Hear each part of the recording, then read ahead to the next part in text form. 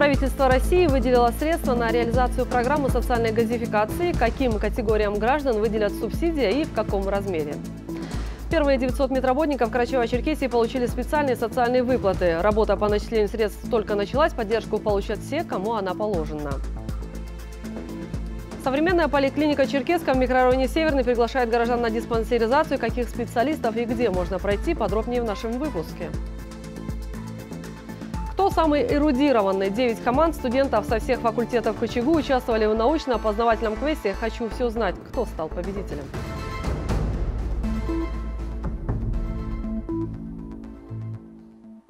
Здравствуйте! В эфире телеканал «Россия-24» Карачева-Черкесия.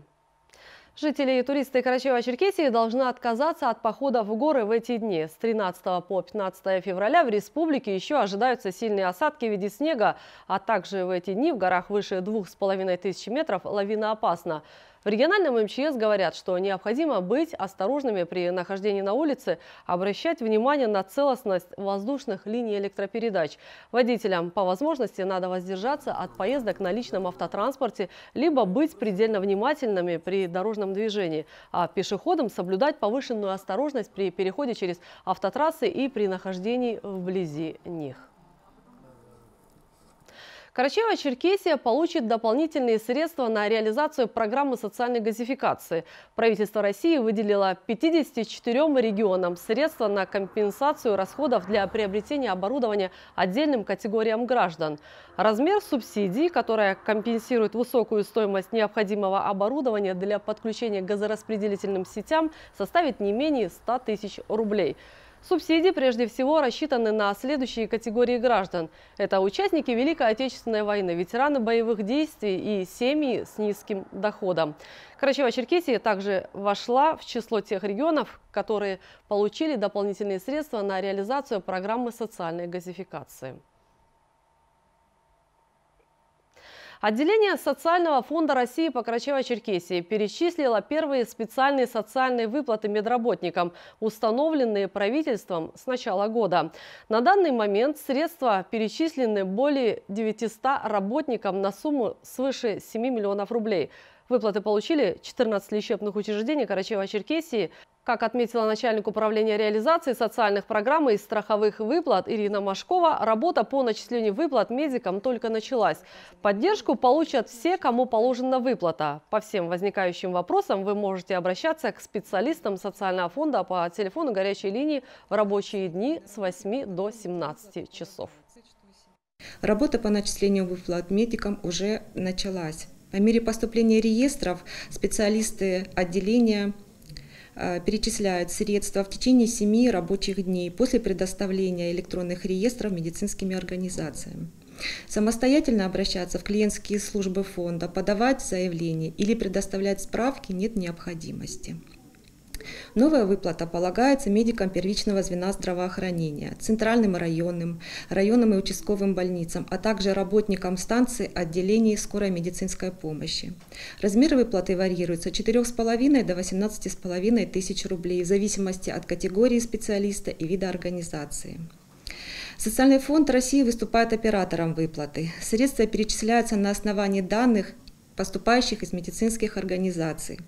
По итогам каждого месяца медицинские учреждения формируют электронный реестр сведений на работников, которые имеют право на эту выплату.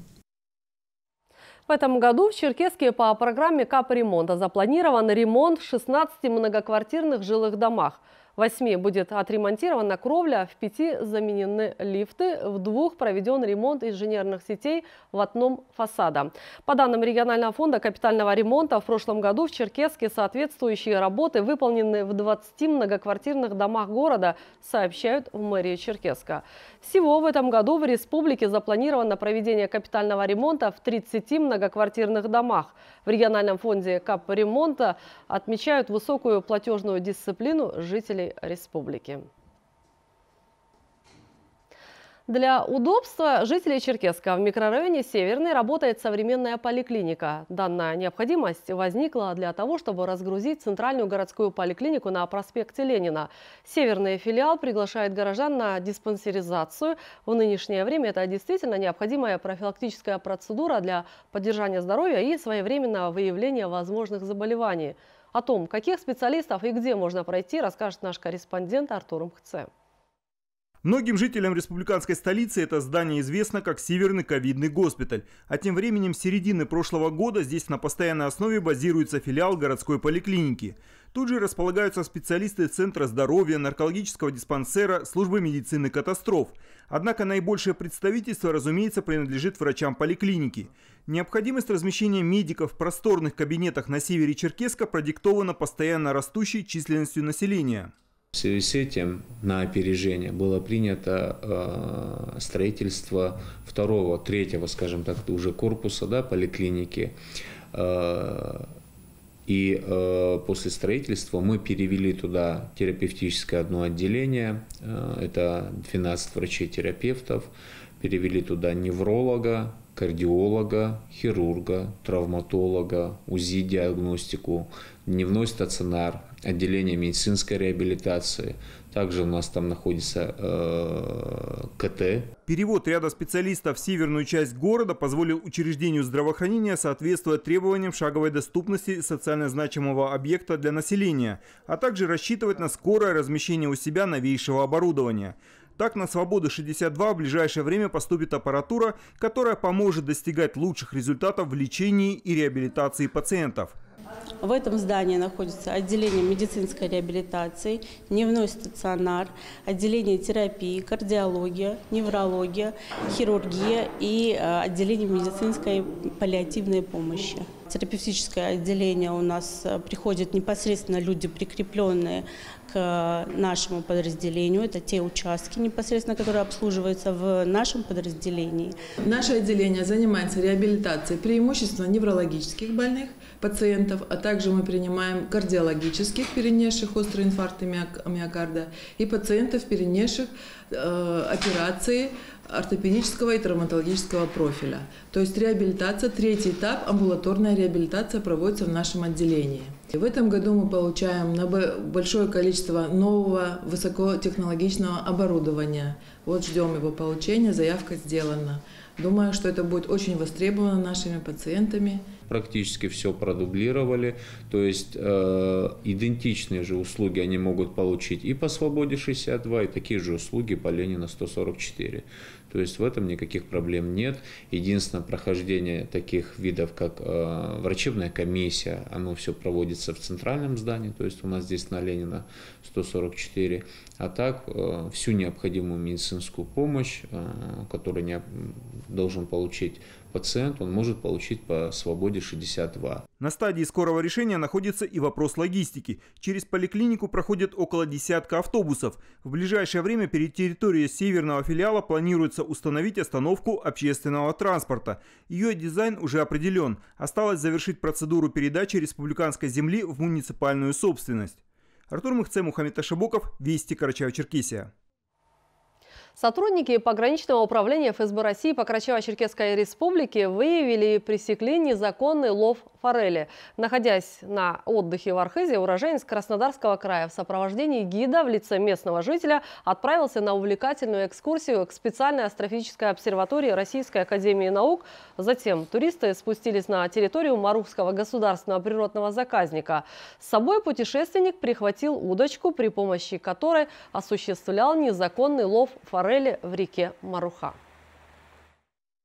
В результате проведенных рейдовых мероприятий на приграничной территории Зеленчугского района сотрудниками пограничного управления был выявлен нарушитель правил, регламентирующих рыболовство, который привлечен к административной ответственности по части 2 статьи 837 КоАП России в виде штрафа 2000 рублей.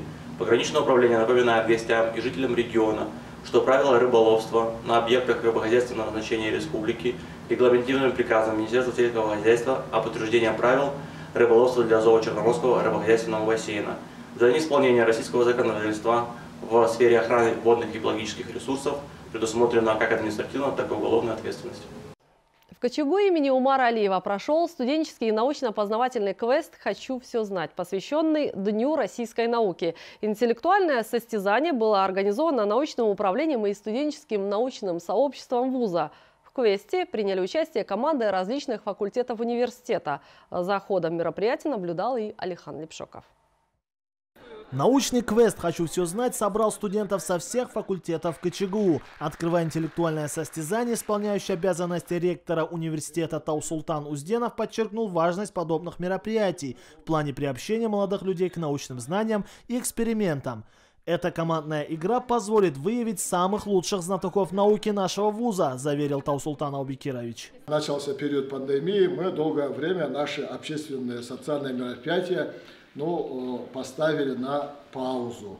Ну вот, э, уже почти год мы начинаем входить в прежний активный наш режим. И очень приятно, что по разным направлениям, по молодежной политике, по образовательной деятельности мы выходим, входим в наш прежний режим. И, конечно, по научной, научно-просветительскому направлению тоже у нас достаточно интересные мероприятия предлагаются.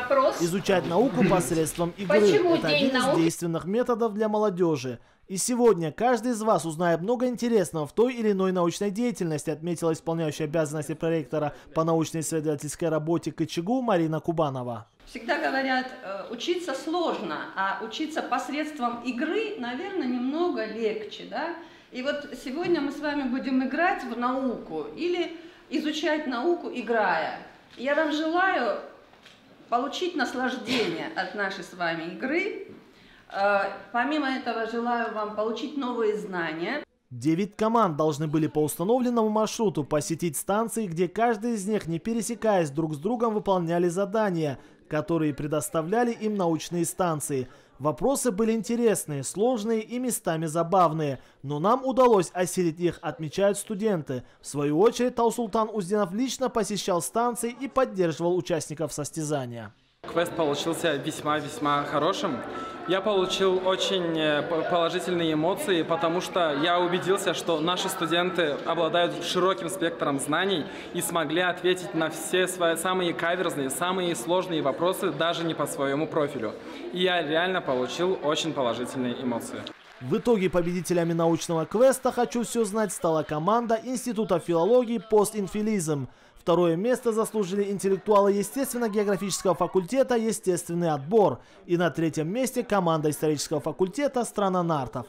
Нам удалось освоить все задания и одержать безоговорочную победу, отметила команда победителей. Мы очень счастливы, что мы выиграли в данном э, квесте. Это были незабываемые эмоции. Э, наша команда называлась «Постинфилизм», что означало революцию в мире нашего университета. Поэтому мы надеемся, что в будущем у нас будут только победы.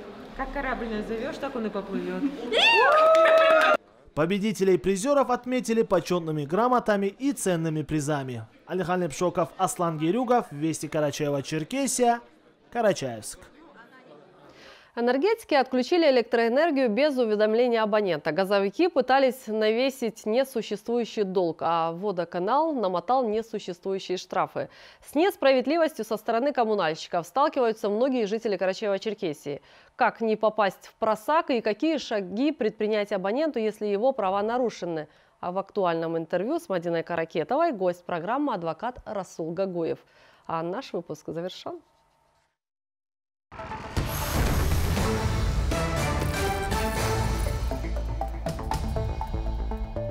Здравствуйте, Расул. А, итак, эм, очередные, очередная партия жалоб от наших телезрителей, очередная партия обращений. И вот эм, одно из них.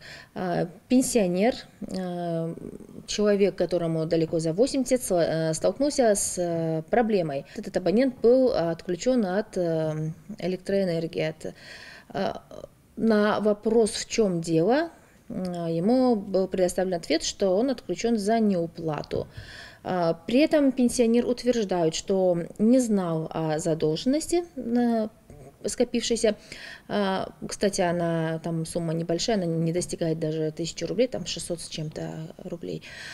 И самое главное, он не получал уведомления о задолженности и предстоящем отключении от электроэнергии. И в связи с этим вытекает вопрос, обязана ли в данном случае энергоснабжающая компания, обязана ли была она уведомить потребителя о предстоящем отключении? И второй момент, каким должен быть порядок уведомления? Следует отметить, что в данной ситуации про Постановлением правительства Российской Федерации 6 мая 2011 года номер 354 утверждены правила предоставления коммунальных услуг собственникам и пользователям помещений в многоквартирных э, домах и жилых помещениях. Вот, согласно э, данным правилам, э, уведомление о предстоящем приостановлении или ограничении обязательно – да, то есть, если рассматривать случай неполного погашения задолженности по коммунальным услугам, то исполнитель обязан предупредить направить соответствующее предупреждение или уведомление за 20 дней до э, приостановления или ограничения. 20 дней исчисляются со дня вручения, либо на э, получение пользователям коммунальных услуг, потребителям коммунальных услуг э, вот, соответствующим образом. Э, данное уведомление или предупреждение направляется почтовой корреспонденцией с уведомлением о вручении, либо вручается абоненту или потребителю коммунальных услуг Э, под расписку, либо с использованием э, телекоммуникационной сети, интернет, в том числе по мобильной связи с использованием мессенджеров соответствующих голоса и направления голосовых сообщений, которые фиксируются, вот, сохраняются. А может ли считаться э, бумажка, засунутая в щель забора, уведомлением официально? Категорически нет. Даже об этом э, высказался и Верховный суд Российской Федерации в своих э, решениях, определениях, вот, что в обязательном порядке э, потребитель, должник должен быть уведомлен о задолженности, в том числе о предстоящем приостановлении или ограничении подачи коммунальной услуги. Расул, абонента уверяли в том, что по новому законодательству энергоснабжающая компания может вообще не уведомлять абонента и перед отключением. Скажите, на самом деле такой закон существует или просто человека попытались ввести в заблуждение? Предусмотрено ли законодательством случаи, когда действительно э, поставщик э, электроэнергии или других коммунальных услуг действительно может отключить абонента э, от источника питания? Э, случаи, когда без предупреждения э, исполнитель может как бы приостановить или ограничить э, подачу коммунальной услуги, это в том случае, когда возникает угроза аварийной ситуации в централизованных сетях, сетях инженерно-технического обеспечения, да, то есть газовое обеспечение электрического, электроснабжения, электрического и водоснабжения, теплоснабжения. Вот. Э, в случае возникновения стихийных бедствий, вот, да, э, выявление факта несанкционированного подключения э, внутри квартирного оборудования потребителям, использование потребителем бытовых машин, приборов, оборудования, мощность подключения которых превышает максимально допустимые пределы. Получение исполнителем предписания органа уполномоченного осуществлять государственный контроль и надзор за соответствием домовых инженерных систем. Коммунальную услугу, конкретно коммунальную услугу. не предупредив, да? Нет, предупр... обязательно должно быть предупреждение. Угу. Вот, за 10 дней предупреждают в случае ремонта, плановых профилактических мероприятий, да, и работ по там, обслуживанию и так далее. Угу. Это за 10 дней а неполное погашение там за 20 дней должны предупредить. И эти сроки исчисляются со дня получения либо вручения э, соответствующего уведомления или предупреждения. А имеют ли право поставщики коммунальных услуг отключать э, абонента, э, если в этой семье проживают пожилые люди и малолетние дети? Ну, в соответствии с правилами, э, упомянутыми правилами, да, предоставление коммунальных услуг собственникам и пользователям жилых помещений э, и с правовой позицией Верховного суда Российской Федерации, э, отраженных в его решениях, постановлениях Пленума, отключить коммунальную услугу то есть в, которой, в доме или же квартире, в котором проживают несовершеннолетние дети или старики, не имеют права коммунальщики. В моей практике даже был такой случай, когда отключили э, подачу газа в доме, в котором проживала, проживала мать со своим ребенком. Задолженность, по мнению газовой компании, скажем так, превышала даже 100 тысяч рублей. Мы обратились в Роспотребнадзор, и жилнадзор по Карачаево-Черкесской республике и уполномоченному по правам ребенка жалобой соответствующей, в котором описали все обстоятельства, что отключили, невзирая, невзирая на то, что в доме проживает несовершеннолетний ребенок, э, в течение трех, э, около трех-четырех дней, даже недели не прошло, э, подачу газа возобновили. Вот, откорректировали, перерасчитали задолженность за потребление газа. Она оказалась, что даже не, э, не 100 тысяч, а около где-то 20 тысяч. Ну, частями э, собственник и данную задолженность погасил.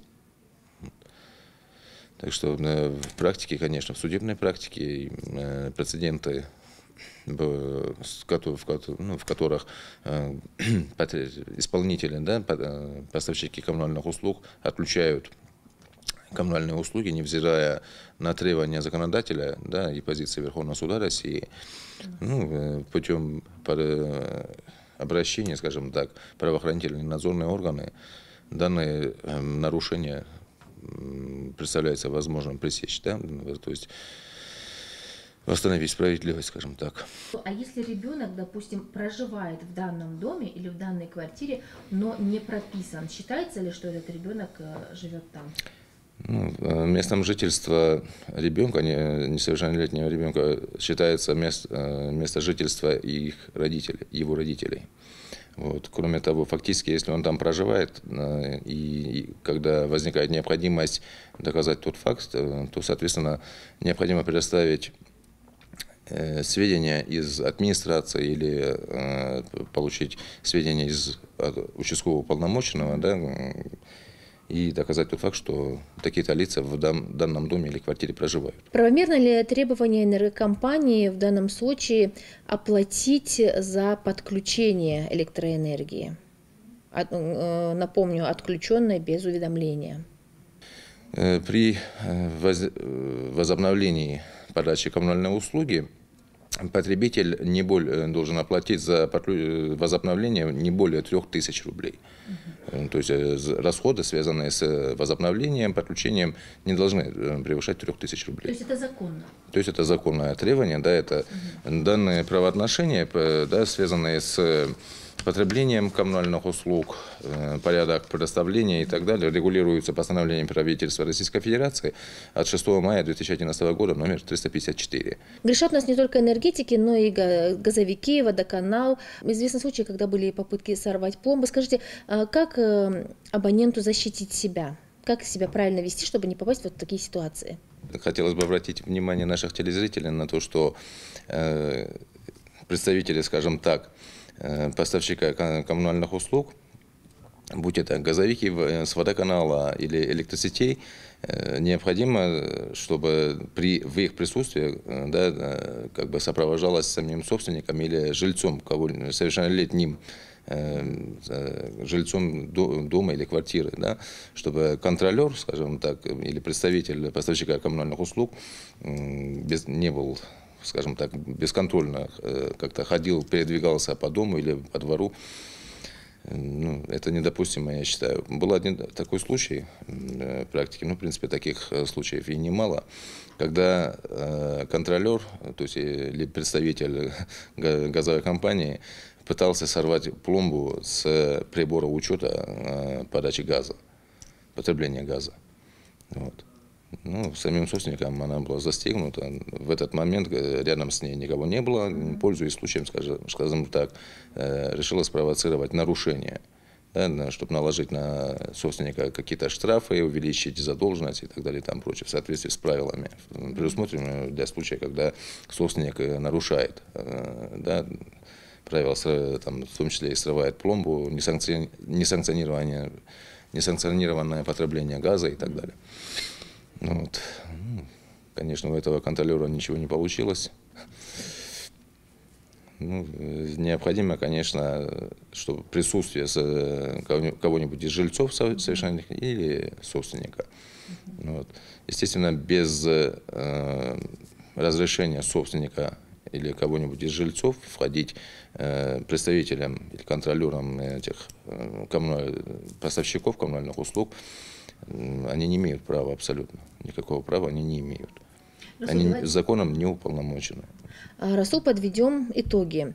Итак, э, как должен себя вести абонент, чтобы не оказаться вот в подобной ситуации? И дайте э, несколько советов, как э, квалифицированный юрист, если все-таки права абонента нарушены, что ему делать, куда обратиться, просто вот его действия.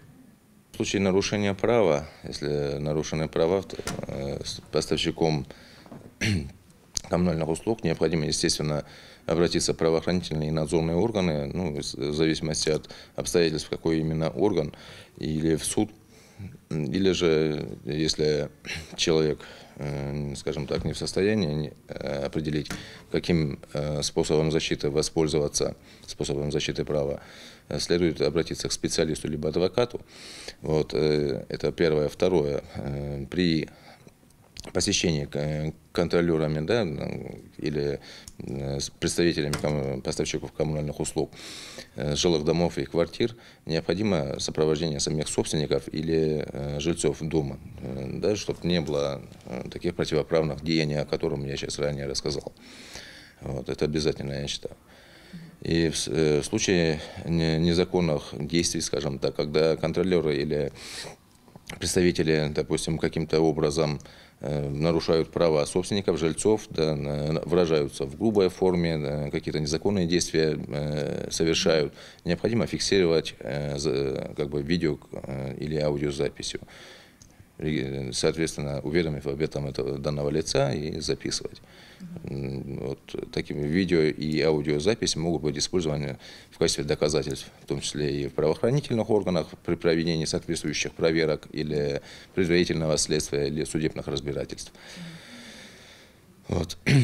Э, квитанции, чеки э, об оплате за коммунальные услуги сохранять не, не менее чем 5, в течение пяти лет. Вот. Э, в случае необходимости, конечно, обратиться к специалисту, либо адвокату. Расул, большое вам спасибо за то, что нашли время и приняли участие в нашей программе. Ждем вас снова.